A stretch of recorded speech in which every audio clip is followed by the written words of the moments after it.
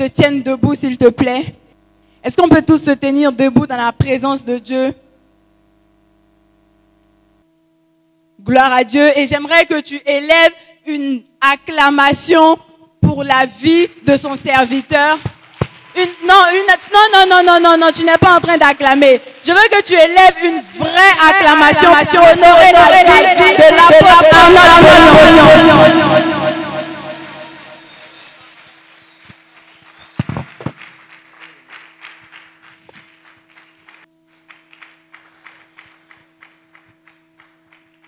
qu'on peut acclamer Jésus plus fort que ça Non, je n'entends pas tes acclamations. Pousse des cris de joie. Acclame le Seigneur. Alléluia. Est-ce que tu peux rester debout? Nous allons honorer le Seigneur pendant quelques minutes. Reste debout s'il te plaît. Et nous allons bénir le Seigneur pendant que tu es debout. Tu vas dire au Seigneur, je suis là pour toi ce soir à cause de l'environnement ou de l'ambiance. Je suis là pour toi ce soir. Est-ce que tu peux commencer à élever ta voix, s'il te plaît? Si tu parles en langue, commence à parler en langue. Si tu veux prier par l'esprit, fais-le. Brale sobradale kabadabasha. Brasco badio sabrade kaba. Est-ce que je peux t'entendre? Est-ce qu'on peut monter ensemble? Est-ce qu'on peut monter ensemble?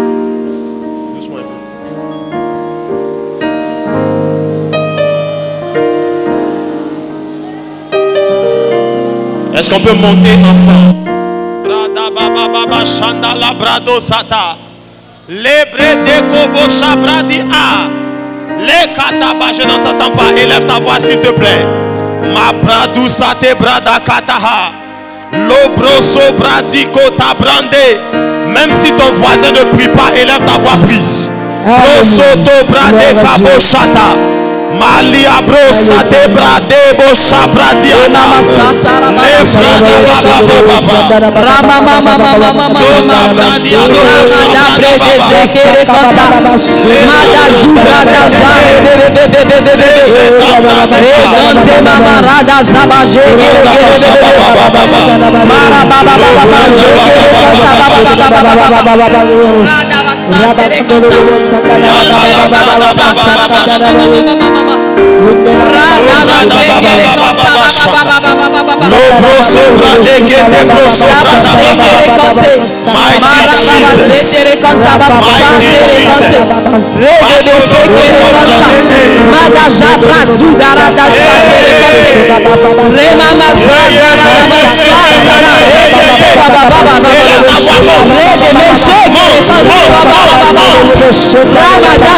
you. Merci Saint-Esprit. Merci pour ta présence ce soir. Nous avons besoin de toi. Viens parler à notre place.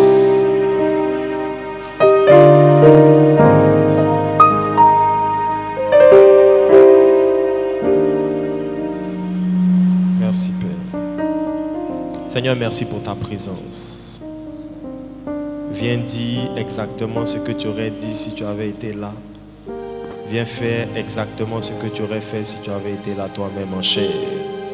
Ne nous laisse pas le droit de faire ce qui nous plaît. Prends le contrôle. Règne dans ce lieu. Au nom de Jésus. Est-ce que tu peux joindre tes mains Acclame le Seigneur très fort?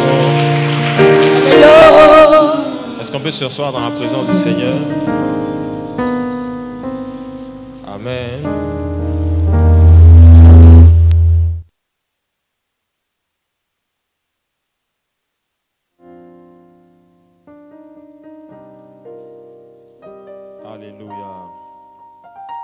Tout le monde. Fais comme ça si tu es là. Ah. Regarde ton voisin, dis-lui power. Ah. Dis-lui Dieu va nous faire du bien ce soir. Est-ce que tu m'entends bien? Ça va? Ça va? Ok. Je vais aller rapidement.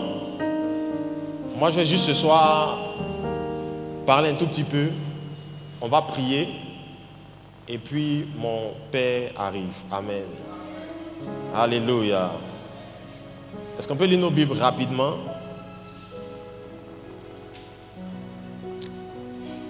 Dans Genèse, au chapitre 30, le verset 20, Genèse au chapitre 30, le verset 20, et dans Deutéronome, le chapitre 33, le verset 18. Rapidement. Bienvenue à Révolution Apostolique. Écoutez-moi bien, nous ne sommes pas un programme d'église, c'est une vision. C'était c'est un fardeau. Amen. Regarde ton dis-lui, c'est un fardeau. Oh, dis-lui ça bien. Il y a deux voisins qui ne se parlent pas. Dis à ton voisin, c'est un fardeau. Et Dieu est en train de faire quelque chose. Lisons dans Genèse au chapitre 30, le verset 20. La Bible dit rapidement, Léa dit, Dieu m'a fait un beau cadeau. Cette fois, mon mari habitera avec moi. Tout le monde peut répéter, mon mari habitera avec moi avec plus de passion, dit, mon mari habitera avec moi. Car je lui ai donné six fils. Et elle appela cet enfant Zabulon. Elle appela comment? Elle appela comment? Deutéronome au chapitre 33, le verset 18. La Bible dit, sur Zabulon, il dit, Réjouis-toi Zabulon dans tes courses. On est dans la version de Louis II. Il dit, Réjouis-toi Zabulon dans tes courses et toi Issachar dans tes tentes. La version de Semeur pour le même chapitre et le même verset disent, pour Zabulon il dit, réjouis-toi Zabulon dans tes expéditions. Réjouis-toi Zabulon dans tes expéditions. Tout le monde peut répéter avec moi, réjouis-toi Zabulon dans tes expéditions. Et la suite dit, sois heureux Issachar quand tu es sous tes tentes. Réjouis-toi, Zabulon, dans tes expéditions et sois heureux, Issachar, quand tu es sous tes tentes. Dernier verset que je lire rapidement. Dans Genèse au chapitre 49, le verset 13. Lorsque Jacob bénit ses douze fils, au verset 13, il arrive sur Zabulon. Et il dit, Zabulon habitera la côte des mers il sera sur la côte des navires et sa limite s'étendra du côté de Sidon.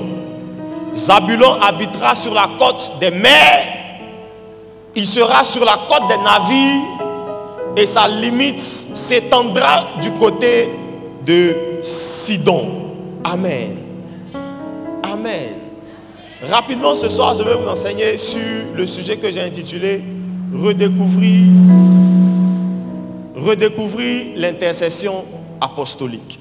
Est-ce que tu peux répéter avec moi? Redécouvrir l'intercession apostolique. Vous savez, je, nous, on est à un genre de rendez-vous où... Est-ce que vous pouvez m'aider? Allez vous asseoir, ça va nous arranger peut-être. Allez vous asseoir. Laissez un seul. Allez vous asseoir. Ici, hein.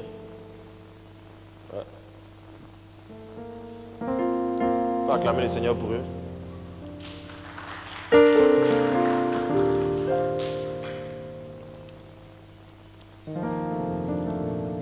Amen. Vous savez qu'en la Bible, euh, euh, nous sommes en train de traiter un sujet qui est très important pour la vie chrétienne, mais qui est très important pour l'Église. Est-ce qu'on peut se tenir debout, s'il vous plaît? Ah. Et acclamer le Seigneur pendant que mon Père arrive. Alléluia. Acclame Jésus plus fort. Acclame-le plus fort, s'il te plaît.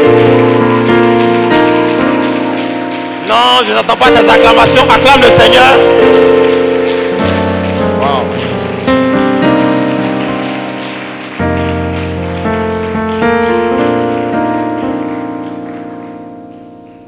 On peut s'asseoir, asseyons-nous.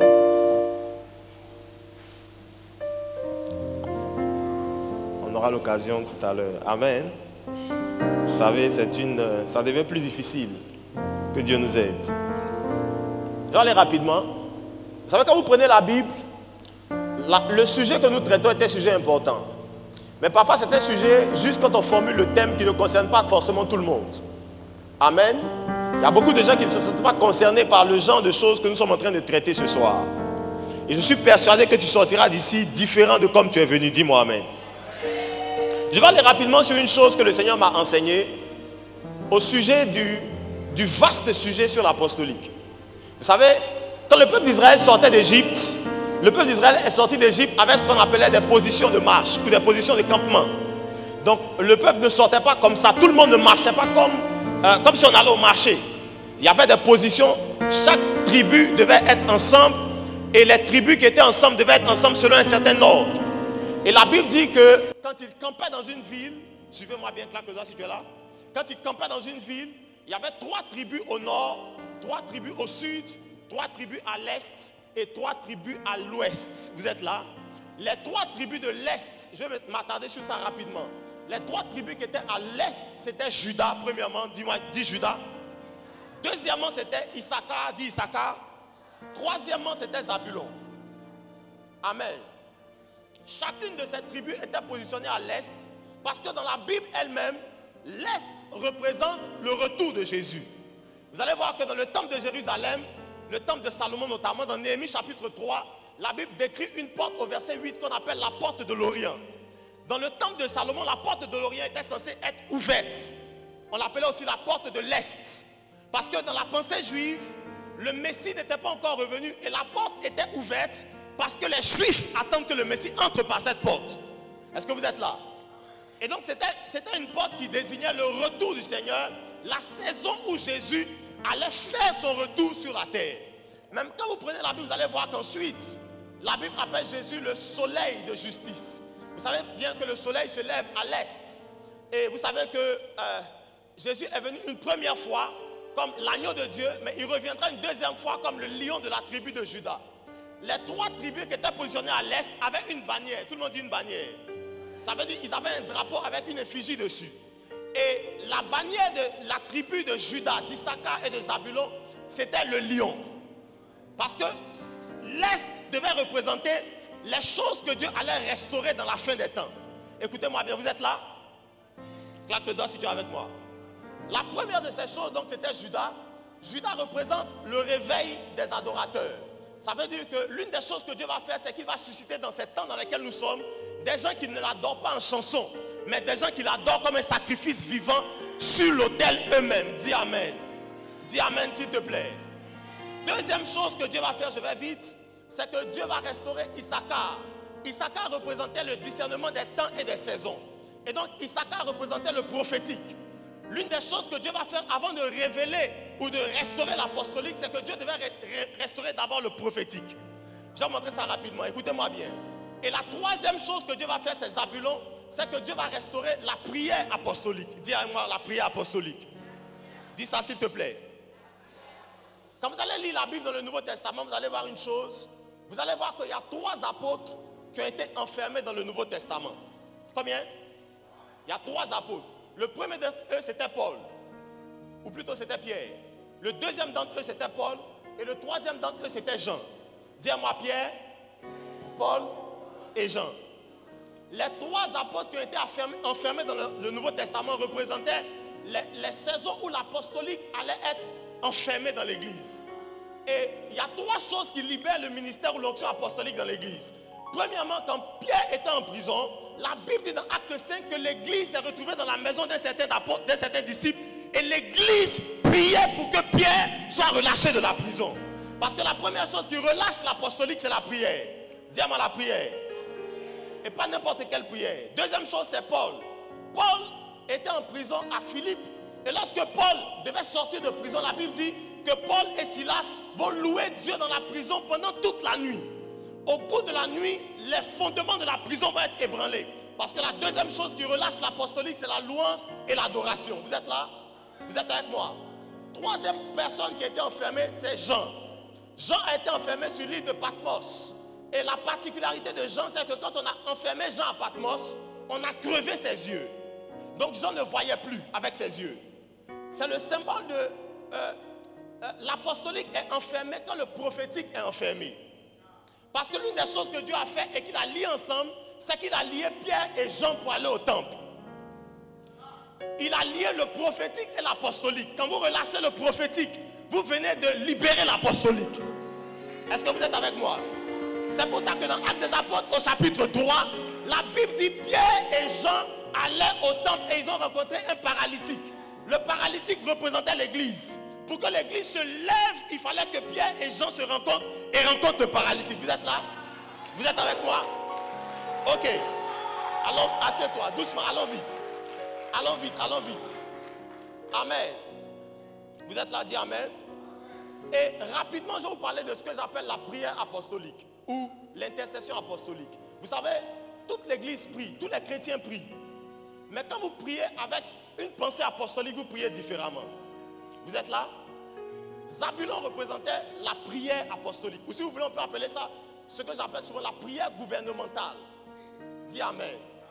Vous savez, quand vous prenez la naissance de Zabulon lui-même, lorsque Zabulon vient au monde, sa mère Léa était à son sixième fils. Et Léa va dire, cette fois-ci, à cause de cet enfant, mon mari habitera avec moi. C'est ce qu'elle dit dans Genèse chapitre 30, verset 20. Elle dit, mon mari habitera avec moi. Certaines versions disent, mon mari va passer la nuit avec moi. Parce que Zabulon représentait pas seulement, il représentait la prière, il représentait l'intercession, où toute la nuit l'époux et l'épouse passent la nuit ensemble dans la prière. Amen. Et, et quand vous prenez la vie de Zabulon, la Bible dit de Zabulon, plus loin quand Jacob, dans Genèse chapitre 49 au verset 13, quand il bénit Zabulon, il lui dit, tu habiteras sur la côte des mers. Suivez-moi bien s'il vous plaît. Tu habiteras sur la côte des mers. Zabulon donc était censé habiter sur le territoire qui était au bord de la mer. Dites-moi au bord de la mer. Dans la Bible, la mer représentait le royaume des ténèbres.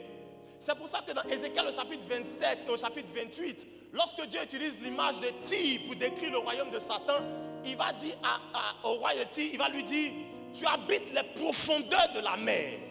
Et il va lui dire, par la grandeur de ton commerce, tu as été trouvé euh, méchant et tu as été projeté du ciel. On lit le chapitre 27, mais à la fin du chapitre 28, on se rend compte qu'il parle de Satan quand il dit, je te précipite et tu as quitté la montagne de Dieu et tu as été précipité à terre. Parce que le, fond des mers ou la, le la côte des mers représentait le royaume des ténèbres ou le système du diable. Suivez-moi bien, s'il vous plaît.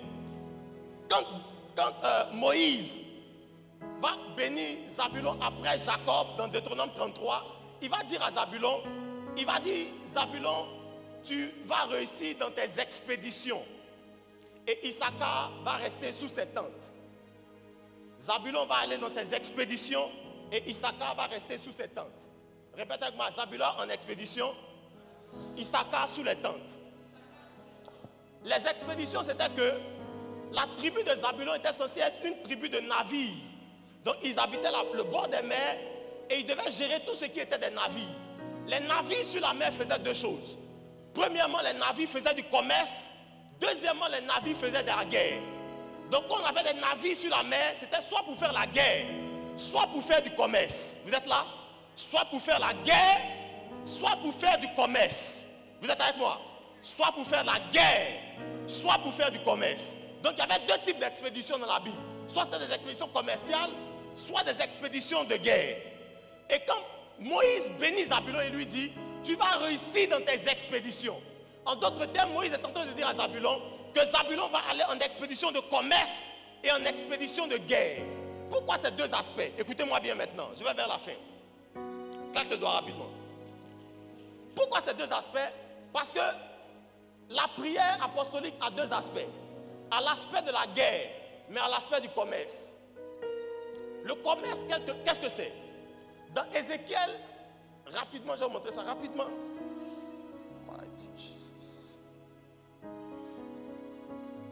Dans Ézéchiel chapitre 27, si tu as ta Bible rapidement, je te montre ça. Rapidement. Au verset 1, il dit La parole de l'Éternel me fait adresser en ces mots. Et toi, fils de l'homme, prononce sur une complainte et tu diras à toi qui es assise au bord de la mer? Le verset 4, il dit Ton territoire est au cœur de la mer. Le verset 25, il dit Les navires de Tarsis naviguaient pour ton commerce. Au verset 27, il dit Tes richesses, tes marchés, tes marchandises, tes mariniers, tes pilotes, ceux qui réparaient tes fissures et ceux qui s'occupent de ton commerce. Le commerce, qu'est-ce que c'est? Dis-moi le commerce. Dis ça plus fort. Dans l'aspect de la prière, l'Église connaît l'aspect de la guerre. Mais l'Église ne connaît pas, ne connaît pas l'aspect du commerce. Dis-moi le commerce. Le commerce, c'est ce qu'on appelle des échanges en deux territoires. Vous êtes là? Vous êtes là? Ça veut dire que vous avez quelque chose dont j'ai besoin et j'ai quelque chose dont vous avez besoin. Ou soit vous avez quelque chose qui est à moi et j'ai quelque chose qui est à vous. Le commerce, donc, c'est la pratique d'échange qui existe en deux pays, deux royaumes, deux territoires, deux peuples qui sont soit opposés ou qui sont soit étrangers. Vous êtes là? Et quand la Bible parle de la prière au sujet des Zabulons, il dit la prière des Zabulons sera une prière de guerre, mais ce sera aussi une prière de commerce. Ça veut dire que Dieu veut élever l'Église au pas seulement au niveau de la guerre spirituelle, mais au niveau du commerce sur le plan spirituel. Parce que dans le, monde des ténèbres, tout ne se reprend pas par la force. Il y a des choses qui se reprennent par la stratégie commerciale.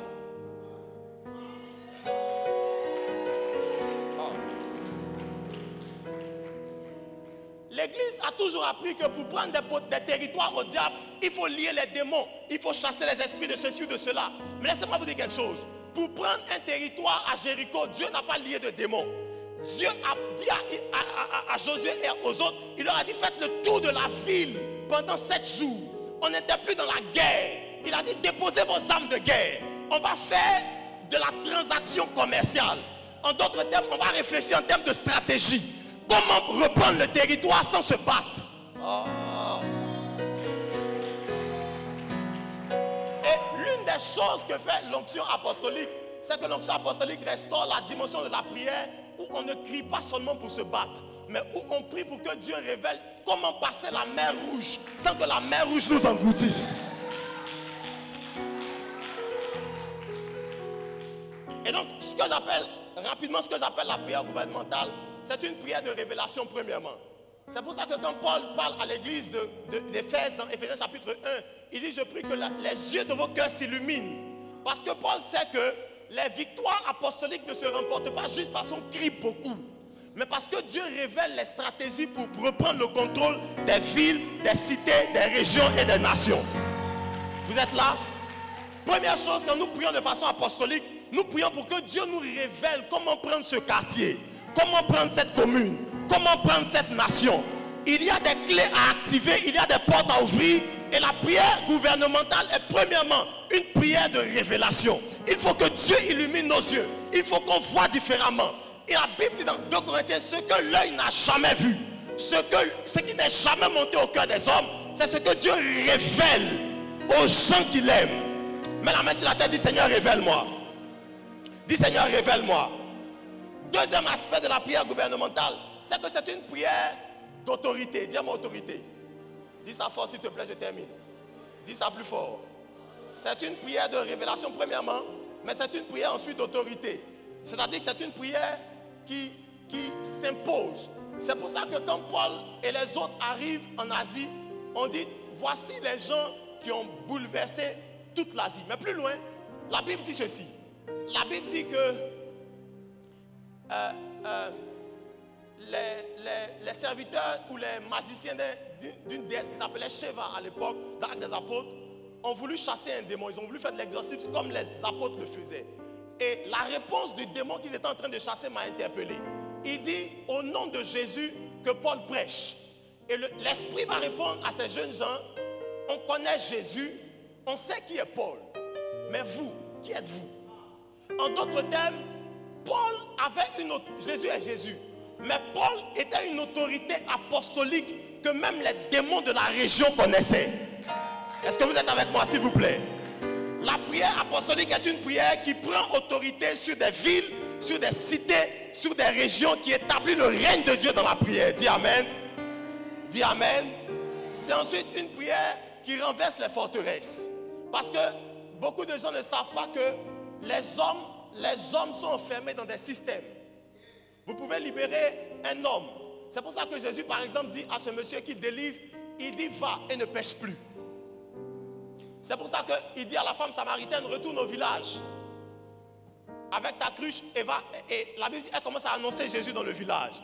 Mais vous allez voir qu'on peut délivrer quelqu'un d'un esprit malin, mais il peut retomber dans ce, ce dont on l'a délivré. Parce que parfois le tout n'est pas de prier pour un homme, ou pour une âme de façon individuelle. Parfois, il faut libérer le système pour que le système relâche les hommes. Est-ce que quelqu'un me comprend? Parfois, il ne faut pas juste prier pour les âmes. Il faut prier pour que le système relâche les âmes qui ont été retenues captifs. Et la prière apostolique est donc une prière qui relâche la puissance de Dieu sur les forteresses. Dites-moi les forteresses. Vous savez, je vais vous dire une confidence. Des gens peuvent venir à l'église pendant 10 ans et ne jamais changer de caractère sur un aspect de la vie. Ils peuvent entendre l'évangile, mais ils peuvent rester captifs de certaines forteresses qui sont plus fortes que ce qu'on lui dit ou ce pourquoi on prie pour lui. Parce qu'à un moment donné, il faut que Dieu élève les autorités apostoliques pour détruire les forteresses qui retiennent les hommes captifs. Quand les forteresses sont dégagées, la ville est libérée, les âmes sont libérées et les âmes peuvent prospérer. Je prie au nom de Jésus de Nazareth que Dieu relâche cette onction sur notre pays. Dis-moi Amen s'il te plaît. Dis-moi Amen s'il te plaît. C'est une onction qui prie pour les cœurs.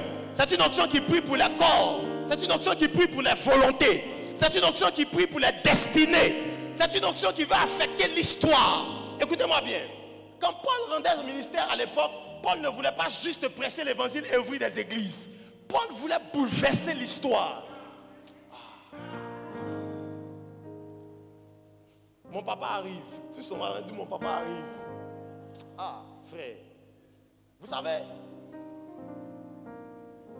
il y a des gens qui changent la vie d'une, qui peuvent changer la vie d'une ville, changer la vie d'un quartier, d'une cité, d'une nation, d'une région tout entière. Parce que quand on prie avec une autorité apostolique, on prie non pas seulement pour que Dieu fasse des choses dans la vie des gens individuellement, mais pour que Dieu dégage l'atmosphère des cités, des régions, des nations, des corporations, des peuples, des groupes d'individus. Et quand Dieu relâche ça, les âmes sont libérées. Dis Amen. Dis Amen. Dis Amen. Et dernière chose que je vais vous partager rapidement, la prière apostolique, c'est une prière de découverte. Je dis souvent, c'est une prière de pionnier. Ça veut dire que c'est une prière qu'on prie pour des choses que Dieu n'a pas encore fait. Vous savez, moi j'ai une soif que mon papa m'a communiqué durant toutes les années qu'on a passées ensemble. J'ai remarqué qu'il avait un caractère, c'est qu'il n'aime pas faire ce que les gens ont déjà fait. Et l'esprit apostolique est un esprit de pionnier. Ça veut dire qu'on ne prie pas pour les choses qui sont déjà vues. On prie pour que Dieu envoie de nouveaux modèles. Oh. Pour que Dieu établisse de nouveaux systèmes. Il y a des choses qu'on n'a pas encore vues. Non, ton voisin ne me comprend pas. Je dis, il y a des choses qu'on n'a pas encore vues. Il y a des, façons d'opérer que Dieu n'a pas encore manifestées. Il y a des enjeux qu'on n'a pas encore découverts. Il y a des organisations, des matières, des disciplines qui n'ont pas encore été révélées. La Bible dit, si tu me pries, je te révélerai les trésors cachés et les richesses enfouies. Il y a des richesses qui ne sont pas encore été données aux hommes. Tout ce que nous avons vu n'est pas encore terminé. Dieu a encore des choses à montrer à l'humanité. Et la prière apostolique est une prière pour que Dieu révèle des choses qu'il n'a pas encore montrées aux hommes. La Bible dit ce que l'œil n'a jamais vu, ce qui n'est jamais monté comme inspiration au cœur d'aucun homme. C'est ce que Dieu veut révéler dans ces temps dans lesquels nous sommes. Et je prie ce soir que Dieu relâche une onction ici pour la découverte, pour la révélation tu vas découvrir des recettes de cuisine.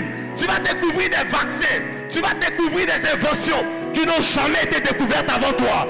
Tiens-toi sur tes deux jambes. Mets la main sur ta tête. Dis Seigneur, relâche une sur ma vie pour la découverte. Au nom de Jésus de Nazareth. Est-ce que tu peux commencer à prier avec moi? Ma brade kabadaba. Dis Seigneur, relâche l'onction apostolique. Relâche l'onction apostolique. Élève ta voix s'il te plaît. Mabrade kabosha. Les brosazi kabros. Les debradeba. Cinq minutes de prière. Élève ta voix. Que Dieu relâche l'onction apostolique. In the name of Jesus. Il y a des choses que Dieu n'a jamais fait. Il y a des choses que Dieu n'a jamais montrées aux hommes. Élève ta voix, prie avec moi. Les bosha bobosa. Les brade kaboshata. In the lebrose. Je ne t'entends pas prier. Les bras baba Seigneur, relâche l'onction apostolique sur l'église de notre génération. Au nom de Jésus. Au nom de Jésus. Ma brosota lebos. Les bras diadosa. Lobobobo sota lebros. Les kedele de bossa. Les bras diadosa In the name of Jesus.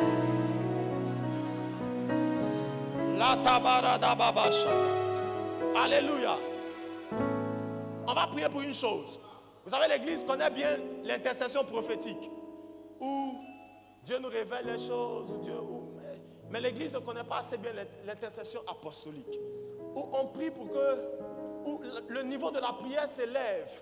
Pour que Dieu relâche ses desseins sur un peuple, sur un pays, sur une nation, sur une région tout entière. On va prier que Dieu élève notre génération à la dimension de l'intercession apostolique. Où nous ne prions plus seulement pour les besoins des hommes. Où nous commençons à prier pour les désirs de Dieu. La Bible dit dans Matthieu chapitre 6, il dit quand vous priez, dites que ton règne vienne. Est-ce qu'on peut élever la voix s'il vous plaît? Commence à prier le Seigneur avec moi. In the name of Jesus.